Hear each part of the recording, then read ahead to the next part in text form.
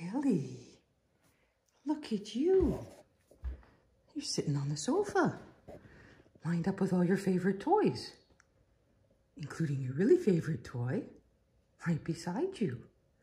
Look, Jack. Oh, and of course, here comes the photo bomber. Mike, that's a good boy. Don't disturb Ellie and Jack. Look, they're having a little love fest. Yeah, isn't that nice?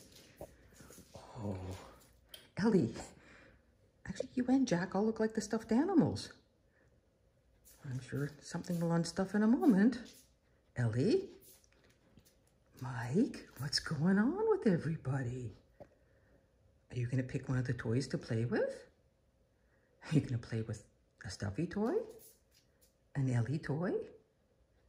Or Jack? Look at that tail wagging so nicely. Oh, of course, the close-up again.